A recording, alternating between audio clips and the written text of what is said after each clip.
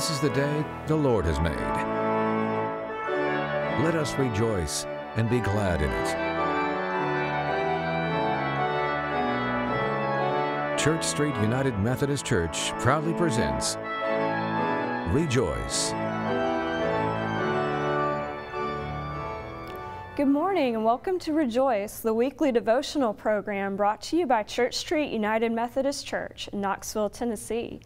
My name is Nicole Krewson and I'm pleased to be one of the pastors at Church Street. In just a few minutes, we are going to read from Psalm 119, but first, let's listen as the parish adult choir sings Do Not Be Afraid.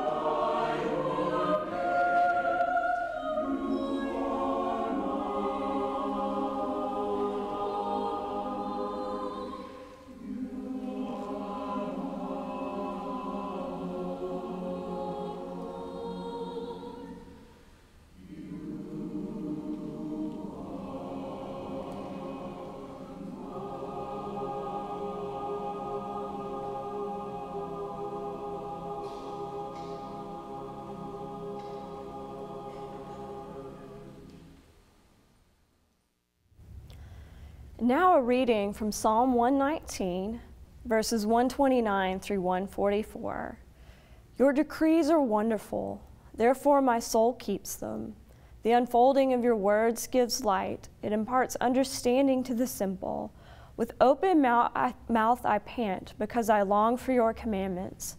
Turn to me and be gracious to me, as is your custom toward those who love your name. Keep my steps steady according to your promise, and never let iniquity have dominion over me. Redeem me from human oppression, that I may keep your precepts. Make your face shine upon your servant, and teach me your statutes. My eyes shed streams of tears because your law is not kept. You are righteous, O Lord, and your judgments are right. You have appointed your decrees in righteousness and all faithfulness. My zeal consumes me because my foes forget your words. Your promise is well tried, and your servant loves it. I am small and despised, yet I do not forget your precepts. Your righteousness is an everlasting righteousness, and your law is the truth. Trouble and anguish have come upon me, but your commandments are my delight. Your decrees are righteous forever. Give me understanding that I may live. And now, reading from Jeremiah chapter 1, verses 27 through 34. The days are surely coming, says the Lord, when I will sow the house of Israel and the house of Judah with the seed of humans and the seed of animals. And just as I have watched over them to pluck up and break down, to overthrow, destroy, and bring evil, so I will watch over them to build and to plant, says the Lord. In those days they shall no longer say, The parents have eaten sour grapes and the children's teeth are set on edge. But all shall die for their own sins. The teeth of everyone who eats sour grapes shall be set on edge. The days are surely coming, says the Lord, when I will make a new covenant with the house of Israel and the house of Judah. It will not be like the covenant that I made with their ancestors when I took them by the hand to bring them out of the land of Egypt, a covenant that they broke, though I was their husband, says the Lord. But this is the covenant that I will make with the house of Israel after those days, says the Lord. I will put my law within them, and I will write it on their hearts, and I will be their God, and they shall be my people. No longer shall they teach one another to say, Know the Lord, for they shall all know me, from the least of them to the greatest, says the Lord. For I will forgive their iniquity and remember their sin no more. And our gospel reading for today comes from Luke chapter 18, verses 1 through 8. Then Jesus told them a parable about their need to pray always and not lose heart. He said, In a certain city there was a judge who neither feared God nor had respect for people. In that city there was a widow who kept coming to him and saying, Grant me justice against my opponent. For a while he refused, but later he said to himself, Though I have no fear of God and no respect for anyone, yet because this widow keeps bothering me, I will grant her justice, so that she may not wear me out by continually coming. And the Lord said, Listen to what the unjust judge says. And will not God grant justice to his chosen ones who cry to him day and night? Will he delay long in helping them? I tell you, he will quickly grant justice to them. And yet, when the Son of Man comes, will he find faith on earth? May God bless the reading of the word, and I invite you to pray with me and to pray for me at this time. Loving God, may the words of my lips and the meditations of all our hearts and minds be acceptable in your sight, O God, our rock and our Redeemer. And I pray that you would take me now and hide me behind the cross, that I would preach for your glory and never for my own. It's in Christ's name we pray. Amen. Well, so often lately it seems a common refrain is our thoughts and prayers are with whatever the latest tragedy that has befallen. Most recently, our thoughts and prayers have been with Haiti, the Bahamas, Florida, North Carolina, South Carolina, Georgia, and all the victims of Hurricane Matthew. Earlier in the year, it was Orlando, Dallas, Charlotte, Tulsa, Baton Rouge. Globally, we pray for Syria, the Middle East in general, Sudan, Paris, Istanbul, and beyond. More locally, we've prayed for Bristol, for Athens, we've prayed for Zaevion Dobson and Jawan Latham. The list can go on and on. I've seen a backlash to all the thoughts and prayers. I've seen some folks say, We don't need your prayers, we need you to act. These sorts of comments give me pause. Do our prayers matter? Are all those thoughts and prayers sincere? Do we really mean it? Is it just a cop out to say our thoughts and prayers are with someone, some group, or something, and then just move on with our lives? What Jesus is getting at when he tells his disciples to pray always and not lose heart. In Luke's gospel, Jesus teaches by showing us how he orders things. Jesus tells us how the world should be according to him. And more often than not, Jesus' way of life is at odds with how things work in the world. To illustrate the value of prayer, Jesus tells the story of the judge who didn't really care. The judge just wanted to be left alone. The judge didn't really put any thought into God and didn't really care about people either. This widow badgered him to death, and he finally granted her what was rightfully hers to get her to shut up and just leave him alone. When Jesus told the story about the widow, widows had no real power or status.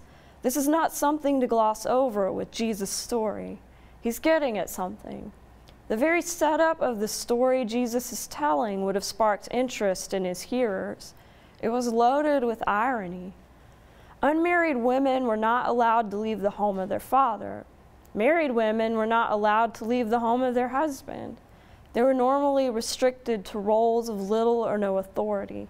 They could not testify in court. They could not appear in public venues. They were not allowed to talk to strangers. A woman not tethered to a man in some way had no right to speak to a man, let alone to a judge. Yet the widow speaks up for what is rightfully hers. She likely didn't speak in court. She probably had to badger the judge elsewhere. She wasn't content to just go on with things as they were, to be content with thinking, well, that's just the way it is. That didn't fly with this widow.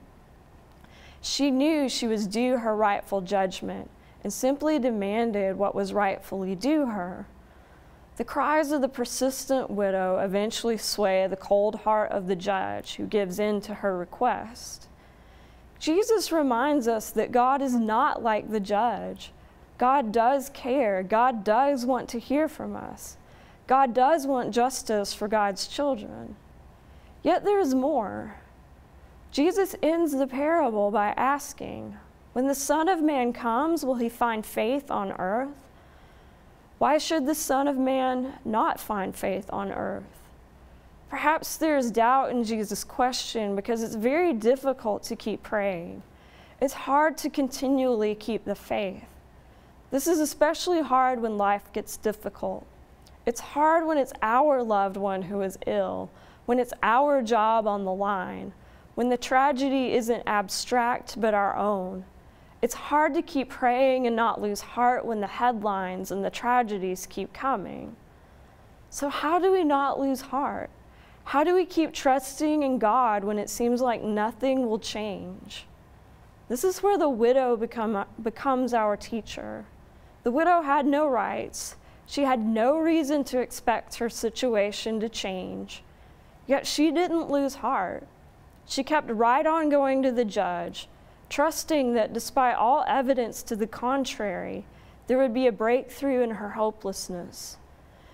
Jesus knew it would be hard for his followers to keep heart, both then, and I expect he knew it would be hard in times to come. Jesus knew that those who followed him would long to see his presence in the world. Jesus knew we would wonder where in the world is God? That's why we're told not to lose heart. Losing heart is something so many of us can struggle with. I had the opportunity to go to a continuing education event recently and hear Reverend Nadia Bolz-Weber share about her own faith and experience. If you haven't heard of her, she's a Lutheran pastor serving a church in the Denver area. She's somewhat irreverent in her speech and demeanor, but when it comes to her faith, she's very serious. She's able to connect with all sorts of folks due to her authenticity, her humor, and her honesty. During our time together, an older woman asked Nadia about prayer. The woman volunteered that she struggles with prayer. She says, I pray and I get bored, and I think God does too. Yet I catch myself doing it anyway. Nadia's reply to the woman's honesty was, I love you. The older woman at the gathering was an inspiration. In spite of everything, she catches herself praying anyway. We have to keep at it, even when we might get bored, even when we wonder what the point is. So, then what is the point of prayer? Does it matter when we hold someone, some place, or some event in our prayers? According to Jesus, it does matter. For when we pray, we are bound to God. We open ourselves to God. We share whatever might cause us pain. Praying also can cause us to name our blessings, but there is also more to prayer. When we pray, we are bound to one another through God. Why do you think Jesus preached about praying those for those who are our enemies, to bless the very ones who persecute us, and make life that much more to endure? Because lifting up the very ones we're tempted to hate, to lift up the ones who cause us to question what's the point, makes us bound to one another through God. It's really hard to hate someone you truly pray for. Try it. Really pray for whichever politician you can't stand. Really pray for the family member who has hurt you. Really pray for the boss who has made work unbearable. To do so changes us. It not only binds us to one another through God, prayer helps us see one another through God's eyes and God's heart.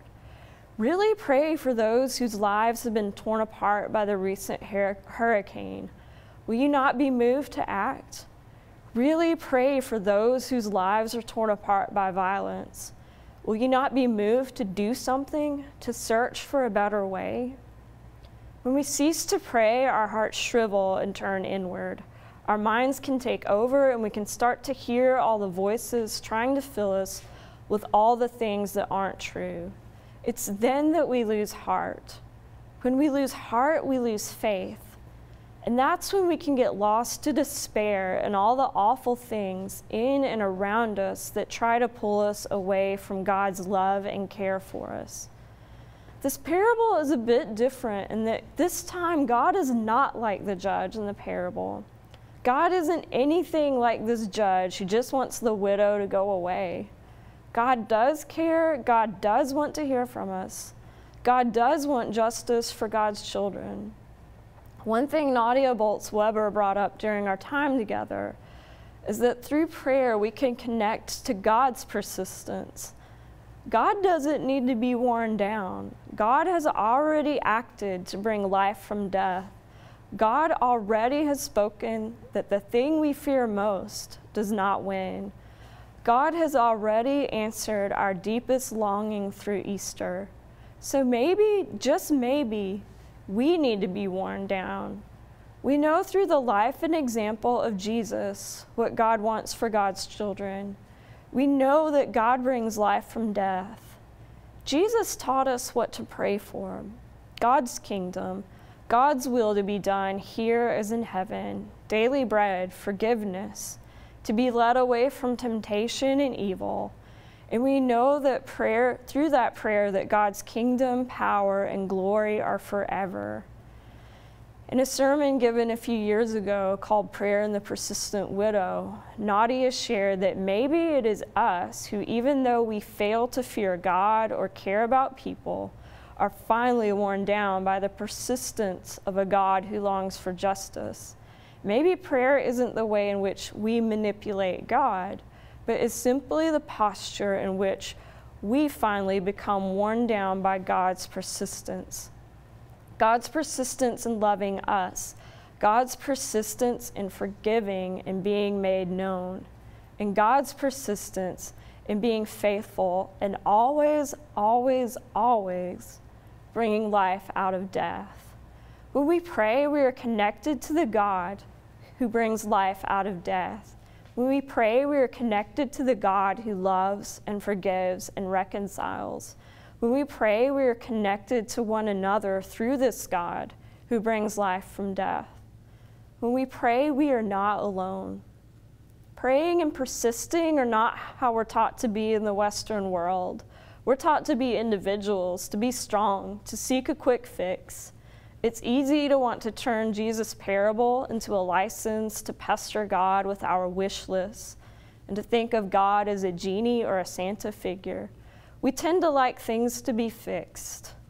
Jesus' message about not losing heart and praying is more than sending God our to do list.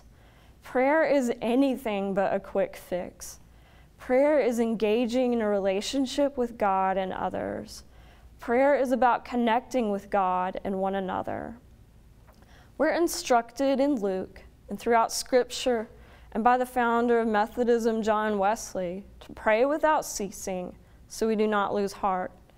It's pretty hard to pray without ceasing by ourselves. We need each other. After all, we have to sleep at some point. And there are also times we need others to hold us up in prayer. I've seen that connection work. I've heard time after time how much being prayed for has meant to someone going through a difficult time. I know a young man who survived a terrible accident who said the prayers have saved his life. He didn't feel very connected to God before people started praying for him. And now that connection is strong. And he knows he is loved not only by God, but by others as well. The persistence worked. God loved him all along, but the prayers of others helped him become aware of God's persistent love and care for him. My husband and I experienced persistence in prayer recently when we had to say goodbye to one of our dogs, a beloved family member. In the midst of our sorrow, we felt connected to God through prayer and through the support of those who love us. When we did not have words, we knew the words and love of others were holding us up we knew we were not alone, and that connection and support helped us not lose heart. As Jesus taught the disciples to pray, we're shown that prayer isn't so much about asking God for what we want, but turning to God and opening to what God wants. God's love is already revealed. Healing and forgiveness are already given. Prayer helps us live into that. Through prayer, God does in fact work. We keep heart by keeping on praying. We keep faith by being open to connection to God and to one another. Prayer is not easy work. It's much easier to write people off, to just lament that the world is broken and beyond help. It's easier to give up. It's easier to be like that judge and just not want to be bothered with it all. But Jesus tells us that's not how it is. God is not like that judge, and we shouldn't be either. God already showed what love He has for His world and His children through Easter. The truth is, the world is better than what is reported. There is more good than evil. The way we live into that truth is to pray without ceasing, to not lose heart, the more we are connected to God and to one another, the better off the world is for it. The more we pray, the more God's kingdom will come on earth. I actually believe that. Our truth isn't what darkness tries to tell us. Our truth isn't what a politician or analyst tries to scare us into thinking. Our truth is Jesus is Lord. Our truth is life comes from death. Our light shines in darkness, and darkness does not overcome. Our job is to pray and not lose heart. God did not lose heart. God loves, God's love persists. So when we pray, we open our hearts to God's heart, to God's persistent love. When we pray, we open ourselves to God and one another. When we pray, we find our hearts in the heart of God. So, yes, prayer matters. May we not lose heart. May the Son of Man find faith when he finds us, and for his faith and his heart have never turned away. Thanks be to God. In the name of the Father, the Son, and the Holy Spirit. Amen.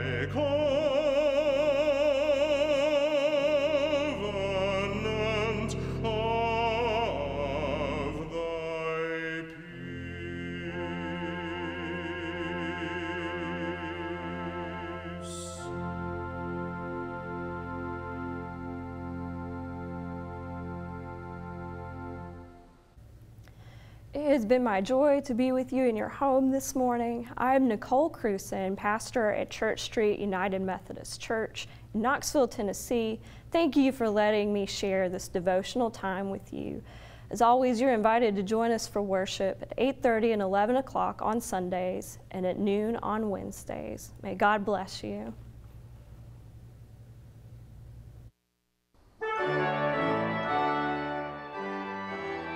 Members and friends of Church Street United Methodist Church, your downtown church at the corner of Henley and Main, would like to thank you for joining Rejoice. Please send us your comments and suggestions, and be sure to tune in next Sunday at this same time for Rejoice.